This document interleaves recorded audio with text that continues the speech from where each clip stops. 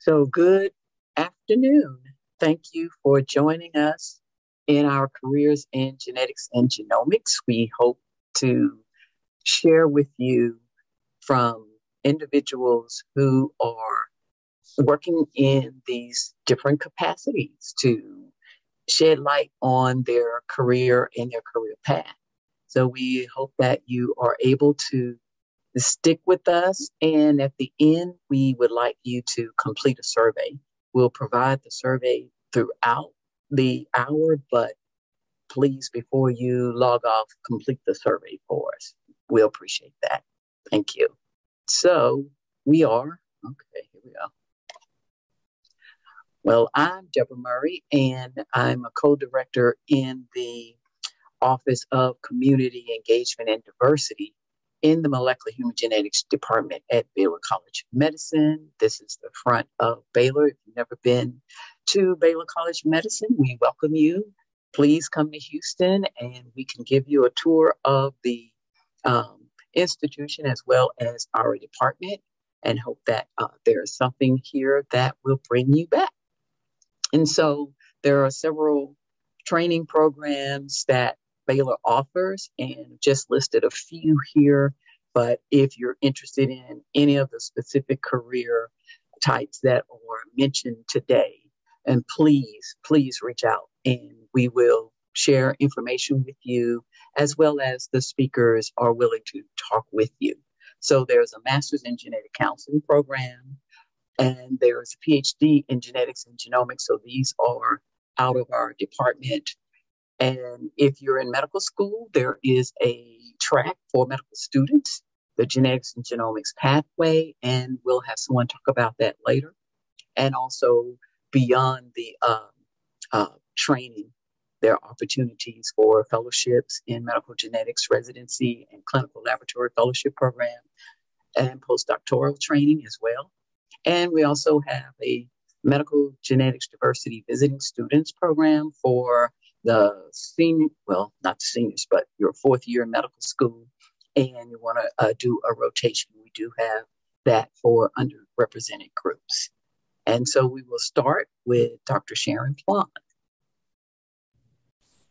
Hi, so I'm going to share my screen. Um, so I'm the oldest, so they gave me a little bit more time because my career is the longest.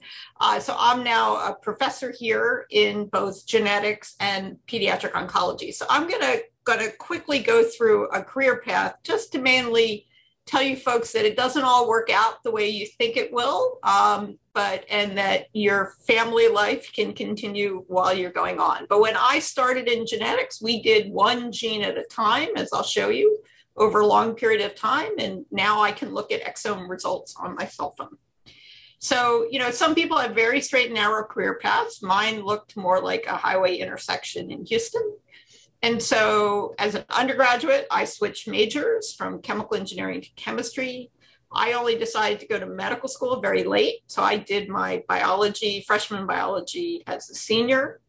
I always love to travel. I still do. I'm going to Europe again in two weeks, and I went alone in Europe for four months. That had been a lifetime dream uh, before I started an MD PhD program at Harvard. And so I was originally in biophysics, but I wound up doing genetics work. So, one thing, because many of you are at different phases of your research career, is I do think it's important, uh, and this was my PhD mentor, to be experimentally aggressive. So, don't shy away from hard experiments. Um, Dr. Wang, uh, James Wang, recommended something that in the end, with a lot of hard work, although it seemed like a crazy idea at the time, we were able to publish um, for my thesis work. Uh, but then I had to decide what to do because I was in an MD PhD program, and you'll hear from some others in different kinds of training. I in medical school you match, and I matched originally in internal medicine, thinking I was going to do cancer. Um, and I enjoyed medicine, but I really missed research. So I again took one of those highway detours, and I took a leave of absence. And I wanted to do more research and decide what I wanted to do.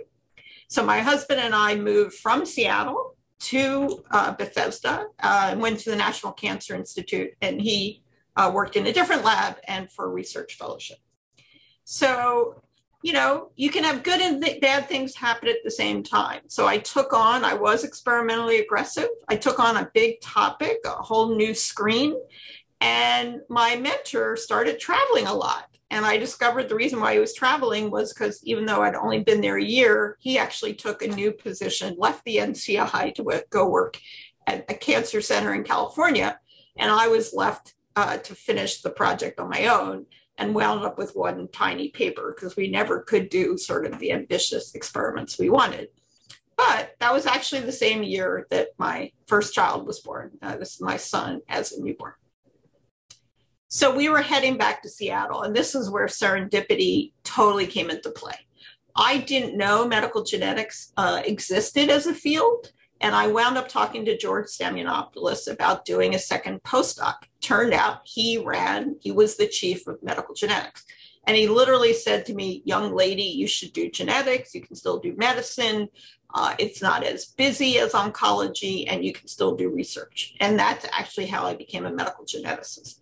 I won't talk about the path in detail. You'll hear about that from more current people because the training was actually slightly different then. But I went back to Seattle and did a medical genetics fellowship. So my board certifications in clinical genetics. Um, I became board certified in medical genetics and I was still doing very basic research. So I was looking at yeast as a model system for human cancer. I got some funding and then again, you know, family plays an important role. My husband had made a commitment to be a pediatric surgeon. There are only 30 training slots in the US, and it's a match. So we looked for cities that were good in pediatric surgery and medical genetics, and that's how we wound up here. So my husband matched to Texas Children's, and I was recruited by David Poplack. That's me in my brand new lab um, as he was developing the Children's Cancer Center. And so again, I continued to do yeast genetics, but I was now a medical geneticist. And it seemed to make sense to make my clinical work more relevant to my laboratory research. And then I was asked to see these interesting children. Actually, sadly, they both now died uh, as young children. They had a very rare condition called Rothmund-Thomson syndrome, but they also had bone cancer. And when I looked up this condition, it wasn't clear that people knew it was associated with bone cancer. So I put together a research team, and that's my other piece of advice work with people you like Baylor is a great place. We had all these experts in different specialties related to this rare disorder. And I had a young fellow in my lab who was interested in bone cancer. So she took this on. And now, almost 20 years ago, we published this paper that showed there were two kinds of Rothmund-Thomson syndrome, and mutations in this gene were associated with a very high risk of bone cancer. It actually took almost 20 years to find the other gene. These 10 patients didn't have a mutation in the gene. And last year, uh, a group collaborating with Lisa and me, and Brendan actually, and me playing a tiny role, actually found the second gene. So it's also using exome sequencing. So it's also important to realize that something that may seem straightforward can still take a very long time. So the other thing I think about when I think about my career is I think about family transitions. So this is my daughter graduating from college. So now both of my kids have graduated. And this is also around the time I got involved in the Genome Center. And this is when clinical exome sequencing became possible. And again, I was involved in a very large team here at Baylor that developed the first test where you could take a patient's blood and sequence all of their genes and report it back to their physicians. And these couple of years from 2011, 2014 were just incredibly exciting. We published a whole series of papers on the development of that test, which still plays a very important role in diagnosis of genetic conditions around the country but I was interested in cancer. And so we put a different team of people together, overlapping with that group, to say, could we do this in childhood cancer patients? And we published a study called BASIC 3. And then in 2020, we expanded it. This was a meeting right before the pandemic where a group now of six different centers around the country all working together to see could we apply genomics to pediatric cancer patients and improve their care. So to sort of sum, sum up, because I know you got a lot of people on the panel, I think it's important to take on challenging projects and careers genetics constantly grows with new areas of research as you advance in your career. So you're not always doing the same thing. Again, I went from yeast to single genes to exomes and genomes. The MD PhD pathway or physician scientist pathway has been really important. These individuals often to become leaders of these large teams of physicians and scientists, and you can serve as a bridge between otherwise separate uh, worlds work with collaborators you enjoy. That's incredibly important piece of advice. And your family can grow and prosper while you do. And this was us more recently at a trip in California. And uh, happy if there's time at the end to take questions, but I know there's lots of other people to talk about their story. Thank you, Dr. Plon. Up next is Dr. April Adams. Um, so, good afternoon. I'm April Adams. Uh, I'm going to talk about a little bit about my path to becoming a reproductive geneticist. Um, so, when I, I actually said when I was about six years old, someone asked me what I wanted to be when I grew up, and I said that I wanted to be an obstetrician. And their response to me was that um, they actually laughed at me and said that I probably didn't know what an obstetrician was. And so that was my the beginning of my journey to becoming an obstetrician. um, and then after that, I kind of went on through the whole um, normal path of high school, college, med school, all of those things. And along the way, had lots of people actually, probably until I got to fellowship, consistently tell me that the goals that I was setting maybe were too high and I should probably think about goals that were a little bit easier to attain. So, my first piece of advice is if you really want something and you think you can do it and somebody says no, then ask someone else. so, um, so the next slide, I will go a little bit through my training. So I um, went to undergrad at Purdue University uh, in Indiana, um, and I studied uh, biology there. And I went in as a pre med um, because I, uh, as I said before, I wanted to go to medical school. And then during my time there, I was able to start working in a lab that did our uh, research on rats. And we did um, some interesting things, which kind of made me think, oh, do I want to actually do research instead? And I kind of was kind of going back and forth about some different things.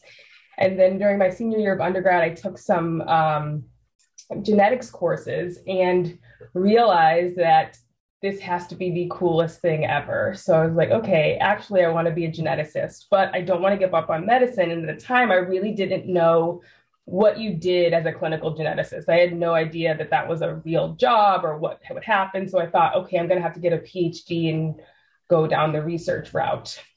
And so um, but I didn't do that because I still wanted to go to medical school. And so then I was really fortunate to find this program at Tulane University at the time to that was a, a human genetics master's program. And you really got to do a mix of one um, working with um, medical geneticists from different fields, genetic counselors, um, as well as working in lab. And so getting to see that full picture.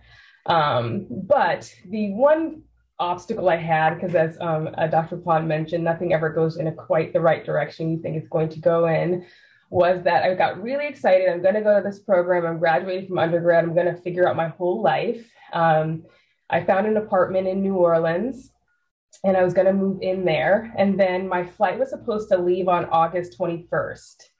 And so you may be familiar with an, a big event that happened in New Orleans on August 23rd, 2005. So that was when Hurricane Katrina hit. And so I was like, oh goodness, what am I going to do with myself now? Because I'm clearly not moving to New Orleans this weekend. Um, so, so I had a little bit of a derailment there, but then was able to kind of get back. And I got to return to New Orleans during a lot of the recovery phase. Um, and then learned that not only did I want to do genetics and figure out how I could be a doctor that practiced genetics, I also found out that I really was interested in health equity and health disparities and what happens to people when they don't have access to the care they need. So even though that was a very traumatic, like, okay, what do I do with my life at this point? I really found out something else about my interests during that period. And so then I left there And actually, sorry, during that time, I also found out about the specialty that I'm currently in, which is maternal fetal medicine and genetics. I met the first person I knew that did that specialty and kind of, okay, this is something I can, I have a career path now, so I'm going to go down this road. Um, so then I went to medical school at Wayne State University, um, and it was uh, mostly uneventful. And then I did my residency at the University of Minnesota. Um, and then I spent a long time during residency figuring out how do I find a training program for maternal fetal medicine and genetics, which was really difficult at the time because it was like all over the place. Some programs were closed, some were open. And so I really spent a lot of time finding this mentorship and figuring out, okay, how do I find a program? Um, and in the end, I ended up at um, in DC um, at MedStar Washington Hospital Center, and then also at the NIH. And I will say that that probably was like the greatest thing that ever happened to me because I really got to see the intersection between research and medicine, um, and really figure out, okay, how do I make this career what I want it to be? And so um, that brings me to where I am now. Um, that um, so now I'm currently um, an assistant professor. I'm in the Department of Obstetrics and Gynecology um, as a maternal fetal medicine physician, but I also work in the Department of um, Molecular and Human Genetics as well. Um, and I do mostly prenatal genetics, but I also see um, uh, women who have uh, genetic conditions as well in the preconception period or during their pregnancy. And so I get to kind of do this full spectrum of care, but also incorporate that into women's health. Um, additionally, I um, am the medical maternal medical director at Ben Taub Hospital, so I get to add that piece of providing um, care to women who are from underserved populations, as well as learn more about how can we improve health equity and decrease some of the disparities that we see. Um, you get to see lots in the media about health disparities and health equity um, issues with kind of regular medical conditions, but it's something that does exist in the realm of um, genetics and specifically in reproductive genetics. And I think that I'm excited to get to be on the ground to really try to make some difference there. Um, and then the last piece that I get to do is work with trainees as part of our fellowship program. And so you may have a question about, okay, what is reproductive genetics? And I alluded to it a little bit, um, that it's really just looking at the kind of a whole women's health from that perspective of how do these genetic conditions impact you. Um, and so um, that's really kind of what I do day to day. Um, it's been a, definitely a, a fun and interesting journey, and I hope just continue learning.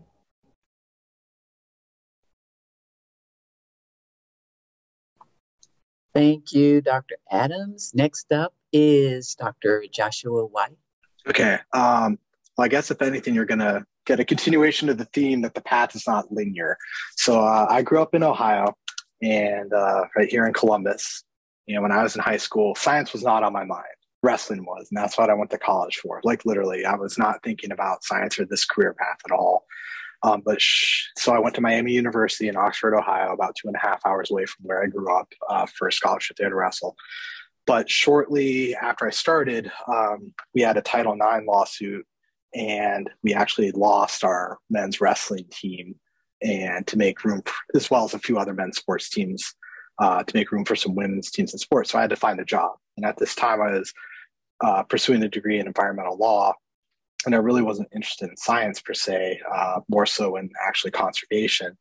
But I needed money, and this guy right here, uh, John Kiss on the far left, he needed someone to wash dishes and uh, work in his lab. So I started working for him, and he had a lot of money from NASA for plant research and biochemistry. So I started working there, and shortly thereafter, they uh, encouraged me to apply for a Hughes Foundation summer internship to basically work in the lab full time and I did that, and that really changed my career trajectory uh, directly from that point. And then I wanted to go into industry to make some money and pay for college. And so I was going to work for Procter and Gamble, which is a big chemical company in Cincinnati. But uh, towards December, they actually had a giant stock crash. So they put all hiring on freeze. My job disappeared. And I was like, oh no, what am I going to do? so it was uh, definitely a panicked moment. But thankfully, I had a great academic advisor. This is his name, or this is a picture of Ken Wilson.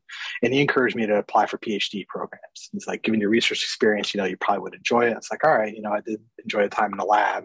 So he had gone to University of Utah, and that was one of the schools I applied to. And long story short, I ended up going there for uh, graduate school. So I made the journey to Salt Lake, and it was fantastic. There, I worked for Dean Li, who's now the head of uh, Merck Research Laboratories, and the topics that I worked on in this lab were predominantly related to um, blood vessels. So here's arteries and there's veins. And normally you have uh, this capillary interface where oxygenation of tissue happens.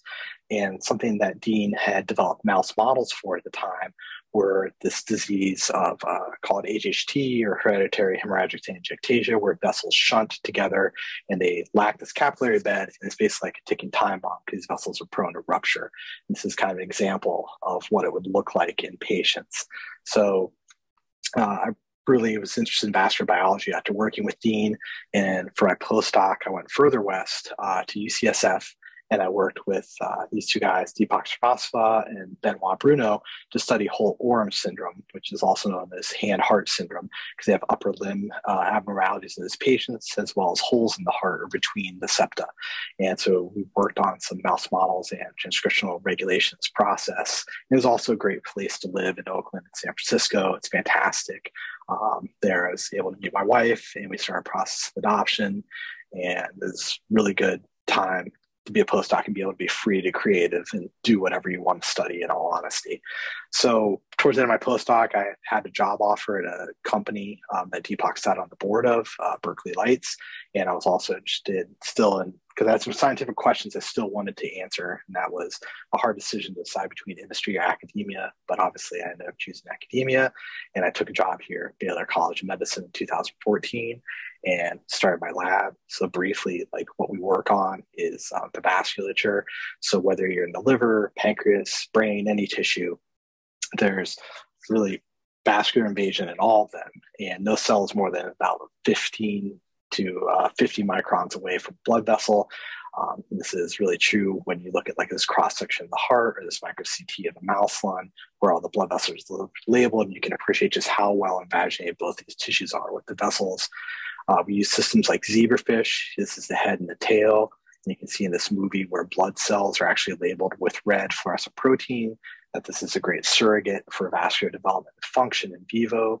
We also use mice in a lot of 2D and 3D high resolution imaging, which we do right here uh, in the cores of Baylor. This is an early mouse embryo right here where the heart's labeled. This are neurons in the brain. This is the blood vessels in the brain, which is really a high point of interest for us. And this kind of imaging stuff that you can do when you're graduate school here because all these technologies are freely available at Baylor. We do a lot of work on glioma, particular brain cancer, where we can take mice and knock out a few tumor suppressors. And then we uh, electroporate them with these constructs, and they grow up and develop brain tumors. We're interested in how the blood vessels and uh, tumor cells interact. So this seems to be really important in uh, glioma disease progression, and many of these patients actually die from hemorrhage deregulation in the brain. So you can see here, 3D imaging where the tumor cells are labeled in green, the blood vessels are in gray. So again, we're fairly interested in these processes. We've also gone back to that initial topic that I went to graduate school for, which is arteriovenous malformations. So we identified the first uh, somatic mutations that occur in patients. A paper in the Journal a few years ago.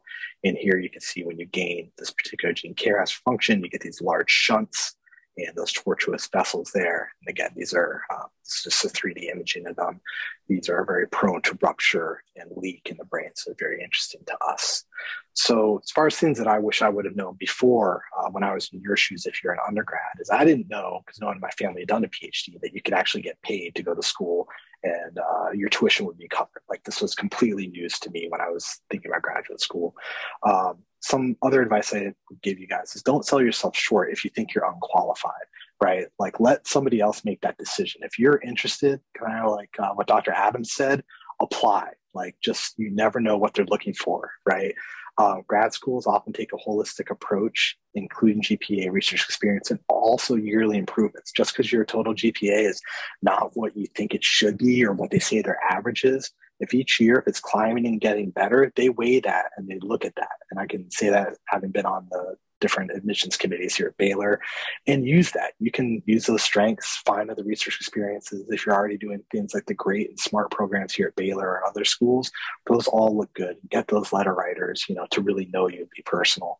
Um, finally, when you do have that decision of where to go and what to do in your career, go where you're supported. Don't go where you feel like you have to justify your existence because inevitably something's going to go wrong or change and you want to go where you know that they have your back and they uh, are really on your side. Uh, there's lots of smart people in science and indeed in any careers. You can really stand out by being reliable and hardworking. And if you're interested in research and running a lab definitely work on your writing skills and reading the literature.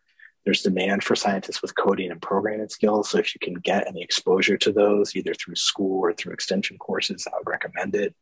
And finally uh, you don't need a PhD um, to be a scientist and contribute to biomedical research. And you know, you can really get into the workforce early and immediately, especially if you've had financial or family concerns, and you can contribute meaningfully in industry and in academic research without actually going to graduate school. If that's you know you have to put it on hold, that's okay too, right? And also for everybody, especially I think um, you know for many of us who are younger, you know, talk about this with our parents, like there's real value in learning about the cost benefits of going into debt for school versus other things and decisions. And this is a great book that's super simple to comprehend uh, about finances. Um, and if you have any questions about these things, I have a lot of links on my lab webpage where you can go to for career advice and other stuff like that. And I will stop. All right, thank you. That was just fascinating. So, our next speaker, Abigail Yesso.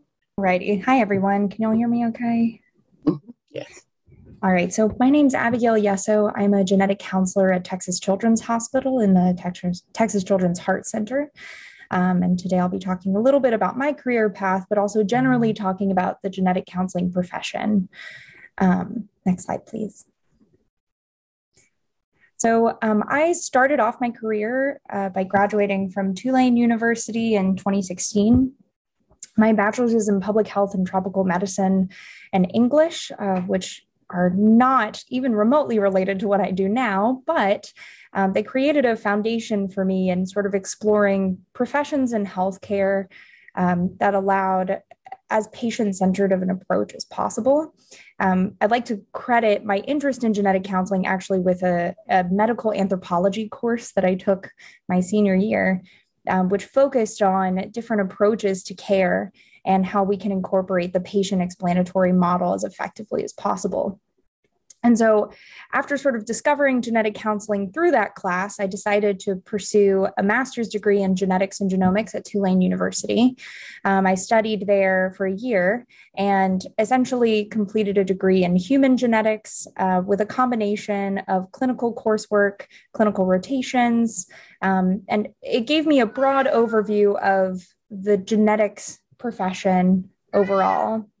Uh, from there, rather than applying to school right away, I wanted to get some experience working in the field. So I moved up to Chicago and worked in a pre implantation genetic testing laboratory as their intake coordinator for some time um, there i was able to interact directly with patients and get a sense of you know what sort of mm-hmm. anxieties they had about genetic testing about genetic testing technologies and things like that and from there you know i felt adequately prepared to apply for genetic counseling programs and i was admitted to baylor college of medicine shortly thereafter i graduated in 2021 um, with a degree in genetic counseling. And ever since then, I've been working as a cardiovascular genetic counselor here at Texas Children's Hospital. I think that looking back on sort of my career trajectory, overall, I had a central goal in mind. I knew I wanted to be in a field that involved the, the scientific aspect of education, but wasn't necessarily um, as specialized as a physician. I wanted to be able to interact with patients in a way that tailored education to them directly. And I wanted to be able to communicate really complex um, topics in a way that was approachable and digestible for patients. Uh, next slide, please. So, briefly, I know that when I was your age, I actually had uh, no idea what genetic counseling even was. So, I figured I'd give you guys kind of a brief overview. Um, uh, next slide, please. Basically, genetic counseling is just the process of helping people to understand and adapt to medical, psychological, and familial implications of the genetic contributions to disease. In order to perform genetic counseling, you don't actually have to be a genetic counselor, but our training is specialized for this process. Um, there are physicians who are excellent genetic counselors. Um, there are nurses and nurse coordinators who are also excellent genetic counselors. But part of our job is to sort of take the, the weight off of those individuals for this sort of specialized process. Next slide, please.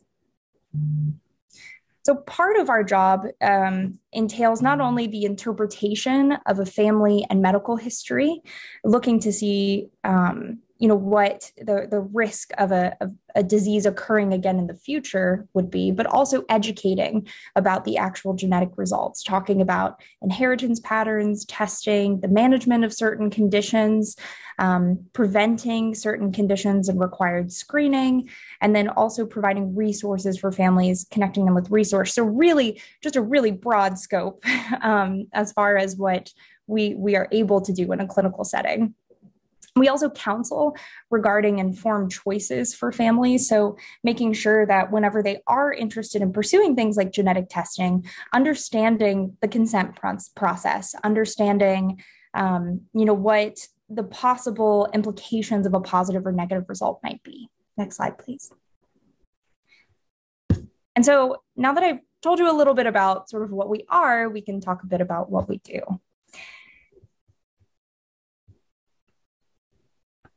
Um, genetic counselors can be very specialized or work in much more general settings. So, uh, individuals who are hyper specialized like myself tend to work in one setting and focus on one sort of disease category but genetic counselors can work in a prenatal setting with pediatric patients adult patients or may not even see patients at all and work in a laboratory or research setting.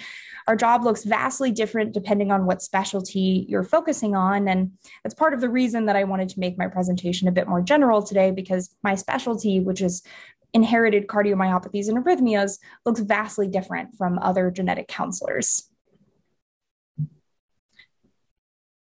We also have uh, many different roles and responsibilities within a clinical and laboratory setting. So, in addition to educating individuals on the inheritance of genetic disease, we're also responsible for collecting a family health history through something called a pedigree um, and providing a, a risk assessment based on what we think their likelihood of a heritable genetic disease would be based on that family history. Perhaps the most unique aspect of our job is providing the psychosocial support and counseling to individuals. We ourselves are not licensed um, psychological counselors, but we're trained in ways to help individuals process the extra weight that a genetic diagnosis may have. And so, some of you may be asking, how do I even find these programs? How do I become interested in being a genetic counselor? And so I want to kind of walk you through the basics of that. Um, first step is something that most of us, uh, most of us have all completed, which is just a, a, bachelor's degree with the required prerequisites, which I detailed on our next slides. We'll talk about that in a moment. Um, the application process is fairly simple after completing the prerequisites and similar to um, the medical school process, the genetic counseling schools now use a match program, meaning that uh, once you've submitted an application, you'll then go on to complete an interview and then be matched with programs based on a ranking system. From there, once you complete your degree, clinical hours, and in most cases defend a thesis, um, you'll graduate from your program typically within two years. Um, and then upon graduation, it's expected that individuals who want to practice as genetic counselors will take the American Board of Genetic Counseling board exam. So, uh, um, in regards to those prerequisites I mentioned earlier, these are some of the things that you may want to start thinking about if you're considering applying to genetic counseling programs. Um, completing a bachelor's degree is, of course, required, but there's no specific major um, that we uh, focus on for admissions. Typically, something that is scientifically related, like biology, genetics, biochemistry, that's always going to be great. And there are certain courses that are required, like biology and chemistry. Um, as well as higher level uh, like social sciences, things like sociology and anthropology. Um, the average GPA for most individuals who apply to genetic counseling programs is a 3.5, uh, but this is not a requirement. Most programs are fairly flexible regarding GPA if individuals have completed all the prerequisites. Uh, this has actually changed fairly recently, but the GRE is actually not required for admission to most genetic counseling programs, though it's good to just check before applying if there's any specific program you're interested in. I can tell you that Baylor um, currently does not require that for the genetic counseling program. And then, two of the most important aspects of an individual's application are going to be advocacy experience and shadowing experience.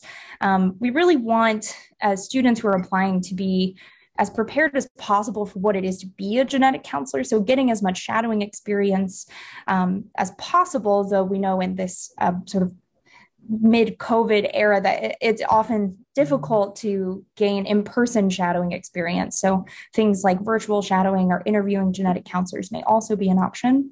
And advocacy experience is really a, a major, major part of our job making sure that you have experience working in situations of crisis. So things like crisis hotlines, peer counseling, um, and hospice care, assisting with individuals who have physical or intellectual disabilities. Um, these are all things that are highly encouraged because many of our patients also experience these difficulties. And so being able to navigate them is an important part of our job. So that's everything that I have prepared for the day. Uh, thank you so much for allowing me to speak today, and I'm happy to answer any questions at the end of the presentations today. Okay, and did the kitty get enough uh, airtime? I'm so sorry about that. He uh, he really loves to be on camera, so um, that's all right. But yeah. I didn't have him prepare any slides today, so I figured that maybe we shouldn't go off book. all right. Well, thank you so much. And next up is Juwan Copeland. All right. So hello, everybody. My name is Juwan Copeland. Uh, I'm a third year genetics and genomics uh, genetics and genomics student here at uh, Baylor College of Medicine. Um, so I'm just going to tell y'all about my journey and uh, hopefully, you know, I can inspire others. And because mine definitely was not a straight path at all. Um, and so I started at Northmont High School back in uh, Dayton, Ohio, where I was, you know, the average straight A student, you know, very happy so on and so forth, you know. But then I got to Ohio, the Ohio State University because we're the now, we're trademark. Um, and you know, I was very uh, kind of thrown off in college. Like, you know, it's not like under, it's not like uh, high school where you know things can just come easy. You don't really have to study. Um, I had to develop proper study habits in order to, you know, increase my GPA because my GPA wasn't the best, and also I became very sick uh, a lot of semesters as well because I have sickle cell anemia and um, it just started to affect my grades. Um, and so I wanted to make sure that I had improved my um, GPA, which is something that Dr. Weiss also had uh, mentioned earlier in his presentation about uh, improving your GPA uh, because they really do like care about that, and that's what I did. And so when I talked to my one of my mentors, Dr. Venkat Gopalan, um, who was my biochemistry uh, professor, my, my major was biochemistry as well. Um, I told him, you know, my aspirations. I want to go to grad school. I want to help find a cure for sickle cell, this and that. And what he told me was that, you know, you don't have the proper resume right now to apply to graduate school. You know, I, I barely had any research experience at all. Um, you know, even though I, I had major improvements in my GPA, it wasn't enough to carry me into the schools such as Baylor, like where I wanted to go. And so he had um, actually suggested that I do what's called a prep program, so a prep program is mainly for uh, underrepresented individuals who are looking to be into uh, STEM um, secondary schools, such as like med school or uh, PhD doctorate training. And so I trained under Dr. Scott Harper at Nationwide Children's Hospital in Columbus, Ohio, where um, I researched ways of optimizing particular microRNAs that would downregulate uh, a gene that was overexpressed in muscular dystrophy called DUX4. And so that gave me the research experience that I needed. Um, and that was my first time I actually, you know, dive dive deep into what's called gene therapies because gene therapies are my uh, passion uh, for sure. And so with, from that, I applied to Baylor, and uh, you know, I got into Baylor College of Medicine.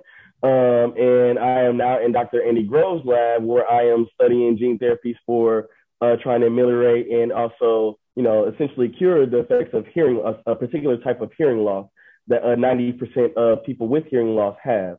Um, and so in this lab, I am just trying to, you know, again, get a solid foundation in gene therapy because ultimately what I want to become is a professor um, and a principal investigator.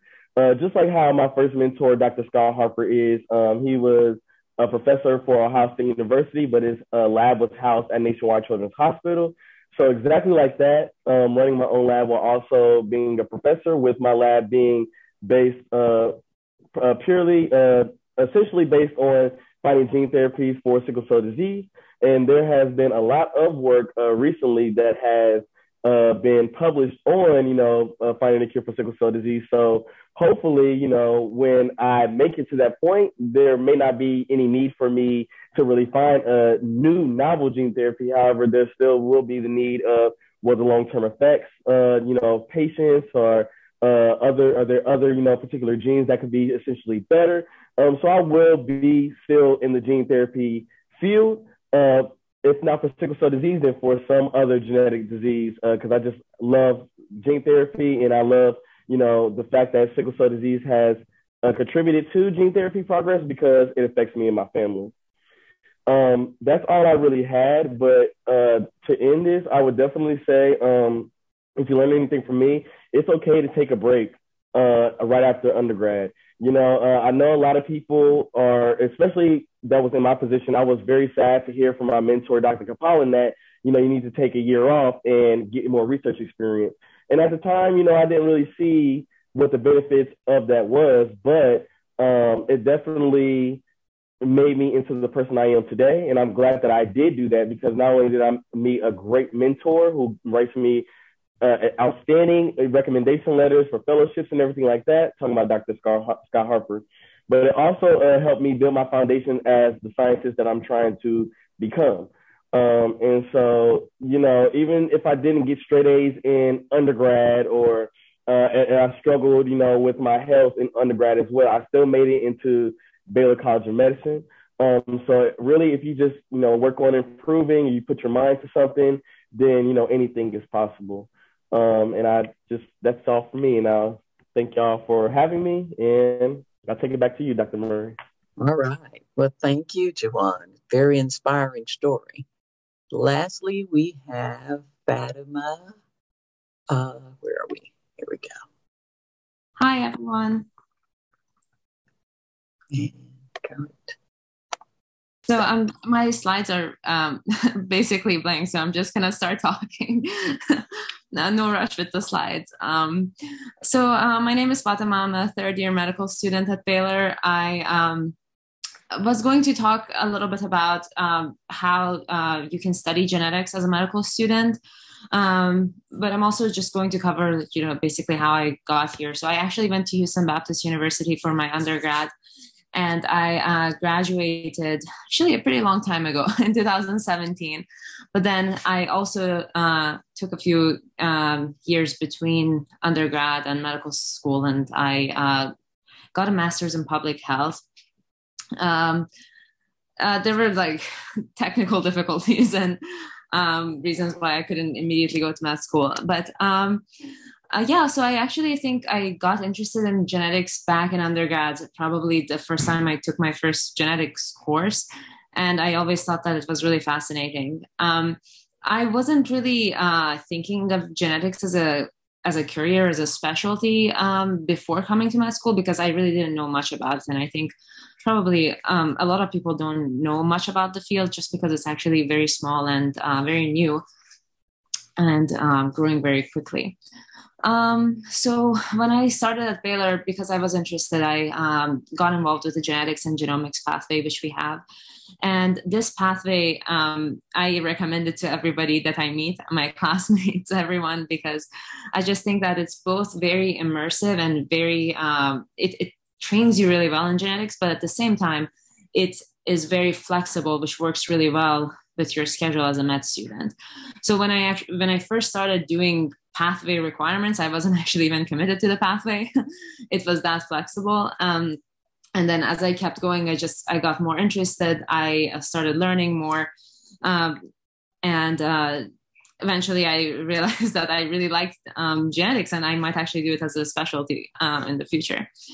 Um, so some of the features of the pathway are that uh, there are some requirements that you have to meet, but you have all four years to do them. There are talks, conferences, seminars, um, these um, events that you have to go to. Uh, there are also preclinical electives and clinical electives that you have to take. And then there's also a research project that you have to complete. The really good thing about all of this is that while it looks like it's so much work, these are things that you would do as a medical student anyways. So um, it's just like a very focused and very structured way to um, uh, to do that. Sorry, distracted by the chat. Um, so these are, you know, the same things. You know, you you would take some uh, preclinical electives or clinical electives, or you would be involved in research. Um, so it's just a really nice way to combine all of those. Um, we also have a genetics course as uh, preclinical students, just for everyone, uh, which I think is uh, really great that we have that at the Baylor because I don't think that that's like a standard part of med school curriculum and i know that some other med schools actually don't even have that as a separate course. Um, i then did my uh, genetics clinical elective back in February um, as part of the pathway. And so uh, for that elective, you can um, do it in uh, prenatal, pediatric, or um, adult genetics. I did mine um, in pediatric genetics at Texas, at Texas Children's Hospital and I really, really enjoyed that. And I think that was the experience that really made me start considering genetics as a specialty in the future. Um, I think one of the favorite, one of my favorite things about um, genetics as a career is that it's much more in depth than um, maybe some other specialties. So uh, the number of patients that you would see um, in a day in genetics is actually much fewer, but each patient takes a really long time. Each patient probably takes several hours of um, learning about the patient, everything that ever happened to them since they were born, their families, up to three generations, and you um, make a pedigree um, all of the, the conditions that they have, their development, you know, just anything that you can think of. And you really get to know your patients super well. And then from there, um, you're just trying to uh, find pieces of this puzzle that you're trying to solve because diagnoses in genetics are um, very precise and there is probably thousands of them that we know of right now. Um, so each it's actually very uh, uncommon for you to walk into a room see a patient and just you know kind of know what's going on with them or have like even a narrow list of differential diagnoses. It's usually very broad and uh, you've worked with the entire team to solve this puzzle together which i think is um, really cool and like the most enjoyable part of the field for me uh, because everybody starts to you know just research and it's it feels like you're learning every single day. It's not something that there's no end to it. And i'm saying that in the best possible way. It's not that you you're done and now your field is really boring because you're not going to see something brand new tomorrow. Um, and the other thing that's really great about uh, genetics as a career i think is that it's growing so rapidly and it's so new. Um, and so there are a lot of opportunities for research and uh, for innovation and just career opportunities in general. Um, so um, yeah I, i'm happy to answer any other questions but i think just in general if you're considering going to medical school or if you're um, uh, you know considering gen- genetics then becoming a medical geneticist is a is a is a really great career, especially if you don't want to stop learning anytime soon. All right, thank you so much, Fatima, and everyone. So, if the attendees could put their questions in the Q and A, then uh, we'll make sure that you get those answered. And also in the chat, Vicky has put the link for the survey. So, uh, Mackenzie asked, are the steps for a medical genetics student the same for those who are studying genetics but aren't going the medical student route? All right. So panelists just come on and take a stab at it? And I think you can read, you could see the same questions, right?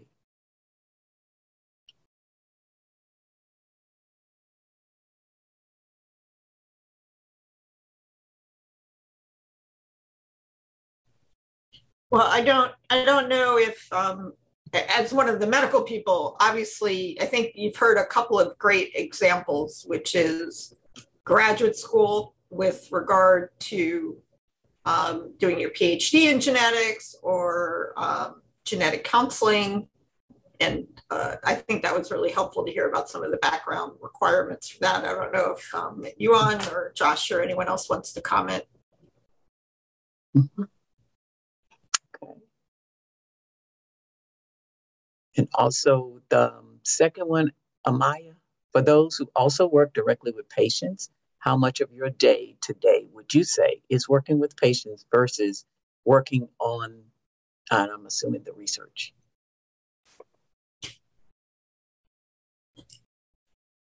Yeah, sorry, I'll turn my camera back on. So that that's actually a great question, and what I would tell you is it varies all over the place. So for me, I'm your more tip typically what people used to call 80-20, which is that I had originally had 20% of my time for clinic um, and and and or teaching. And so I've always had clinic one day a week. Earlier in my career, I actually had clinic two afternoons a week I had an adult clinic and a pediatric clinic.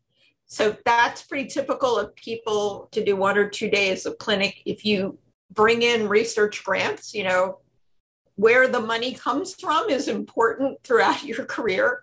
Um, and so if you write grants that grants not only support the people in your lab, but they also support part of your time.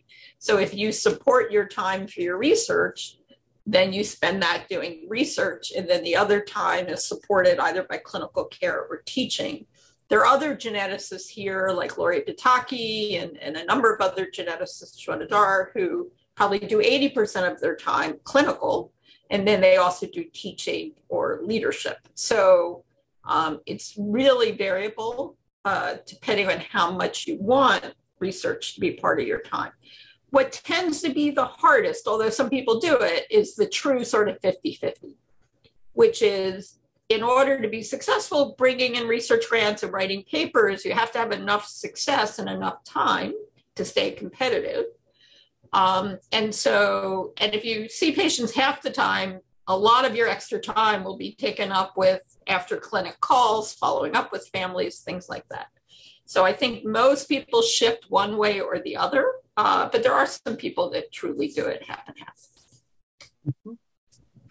And I would say, I would add to that um, that it will also depend a bit on your your specialty as yeah, well. Yes. Um, and yeah, that's a really complicated. that is a really complicated question. There's so many iterations of how people do that, but um, things to think about as you are pursuing careers like this is if you have research that you want to do, you know, be thinking about as you're like kind of looking for jobs and programs and things like that, how you're going to be able to balance that financial support with research funding versus the clinical amount of clinical you have to do to support your salary as well. And so those are questions that to start thinking about early and start asking around how people are doing that um, because it's easier to ask up front than try to ask later um, for those kinds of things.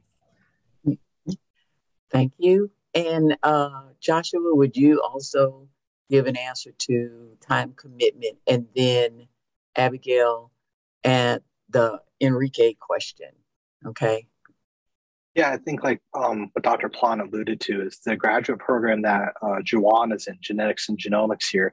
They do have a separate track. Like if you don't want to necessarily be a classic wet bench scientist like myself and you want to go towards more like pure focus computation and human genetics from a PhD, not an MD side, they do have an excellent program here where your coursework is going to be very focused towards um, understanding that and handling big data and doing that kind of computation analysis and building those uh, relationships between pedigrees and trios and novel diseases here. And Baylor also has an excellent um, undi- relationship with the Undiagnosed Disease Network or UDN here for genomics research. and they have great uh, centers here, like um, I think it's I can't remember Dr. Plonk and correct. It's like Moraga or something like that that um, Dr. Lupski runs and other ones. So like as far as if you're interested in the academic side of uh, genetics research, it's an excellent institution here for that and great graduate training if you want to be on that side of it, not necessarily on the patient side. And a lot of those labs are also run by physician scientists like um, Dr. Plon, Dr. Adams, where they're going to be bringing that clinical expertise to basically help the PhD students understand and appreciate the diseases and the complexities of that system. But as far as from a pure PhD side, yeah, you've she hit it out of the park. It's it matters where the money comes from, and you got to run the lab, and it's a, definitely a big burden to do that. So from my side, I can't even imagine like having clinical obligations because it's so demanding. Not even thinking about family and teaching and other service that you have to do. So it's it's definitely you've got to have the passion, like for sure. Mm-hmm. Okay. Um, so I can answer the question that Enrique posed. Um, as far as if genetic counselors can design and conduct our own experiments, um, we certainly can serve as primary investigators for research projects. Um, we also can, um, you know, write grants and uh, submit for IRB approval, and all of the things that you would expect within a research role is something that we're trained to do in our graduate programs currently um, i'm actually functioning in a research coordinator role for a study and so for me i like that research doesn't always have to be something that's sort of happening behind the scenes away from patients um, i really enjoy the aspect where I'm able to sort of consent patients and speak with them directly about how the research can impact them and others. Um, so there's a lot of variety and i think the way that we can participate in research either in sort of the more investigative role or in that patient facing role. Thank you. And please answer uh, the survey for us. We really appreciate the feedback so we can improve these offerings. And i saw some raised hands but i can't see them. Are there still raised hands and if you have the ability to come on, would you just come on and ask or type it in the Q&A? Uh-oh, here we go. Any advice for submitting a competitive PhD application? Great talk. Thank you all.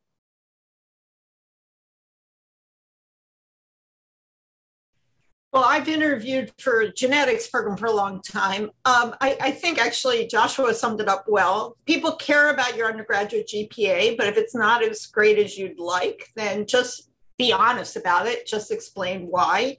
I have a, I won't name him, but I have a graduate student in my lab that did not have a great undergraduate GPA.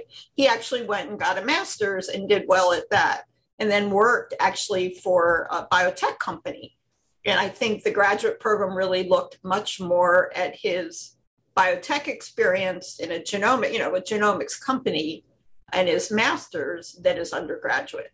So um, I, I do think they look for, I was just talking to one of my students, uh, summer students who's thinking of applying in genetics, and they will tell you how much research on average they expect. So that's useful. Look on websites, find out what graduate programs say. Um, a lot of them do like you to have done one long-term project, either you know a couple of semesters at your college or after you graduate. So she, for example, is at a small school that doesn't offer any research at college, and so she was thinking she may need to take a gap year to be competitive. Um, but the websites really have a lot of information. Don't shy away from looking at them. Mm-hmm. Okay. Yeah, and I'll, I'll say like there's other opportunities. Like you know, um, if you are at one of those small schools and you've been fortunate enough to do like what Juwan's done, like a smart program fellowship or something like that, but you don't necessarily want um, to delay, you might be able to contact like your mentor who you've done your summer study with and maybe be able to analyze data at home or to do computational or informatics or to write a you know a review of the state of the field or something that can take you like six months slowly. So you can do those things to kind of bolster your resume to make it more holistic so you can have those other experiences that can you know outweigh the uh, lower GPA. Like I myself had that. Um, my first two years were not great. I was definitely too focused on the wrong things. but if you're seeing an upward trajectory each year, that helps. If you have research experience, that helps. And also, if you write your application to why that program, right? Not just like a blanket one, but what is it specifically about that program and what faculty you can see yourself working with, that carries a lot of weight because then we know as admissions committee that you're serious about here and what you want to do. So not just a generic, oh, I'm really interested in research, but what is it about you, right? Like if Juwan had written one about gene therapy and sickle cell and how close it is to his family and his heart, like that's a big motivator. And as an app, like a reviewer, you understand, you read it, you're like, okay, I get a picture of who this person is. And that can carry a lot of weight to really make it personal about you and why the program is a good fit for you. Um, and try and get those experiences however you can because we see those, right? I mean, we definitely can appreciate the effort that you all put into it. I just want to add something quick as well. Um, I think that me meeting people in person at conferences also played a significant role because once and I had, you know, my I had business cards, my name, I had, you know, my resume, I stapled them and was giving them to prospective schools I wanted to go to. And uh, you know, I kind of have like a charismatic personality, so I was hoping that they remember like who I am, and I also sent follow up emails, and they did. Um, and I also just want to uh, throw this on to the plate as well for applying to graduate schools. I applied to about 15 schools, um, really only because, well, for one, a lot of these schools have application waivers, so definitely don't shy away from even asking them about, you know, if you can get some sort of waived fee for these, because I barely paid, I paid for maybe like two applications. And for number two, um, if you want to just travel somewhere, apply. You know, you think like California. I applied to a California school just because I want to see what California is like. This is the time. That'll be the time that you really want to um, if you want to go somewhere, try to explore somewhere, apply to a school that's in that area because for the most part, um, if you make it past, you know, be, looking good on paper, they're going to fly you out there. So you're going to get experience, you know, with being in that city, with being at that school. Um, and so I definitely took that as a chance to do a lot of my traveling. I never traveled that much um, before, before, like while until I applied to a bunch of grad schools. So just something to put out there, you know, but also just be mindful of application waivers. Don't, you know, you don't know unless you ask. So just mm-hmm. like how Dr. Weiss had also said in his presentation. So, mm-hmm. yes, yes, please ask them. They do have them. We thank you for joining us. Please fill out the survey, and we also try to keep our um, offerings for an hour so you can come back, so you can spread the word. And people, they don't hold you too long. So thank you, everyone, the panelists and the attendees. I saw that we had 50 people at the height, I believe. So this is a great turnout. So thank you so much have a good.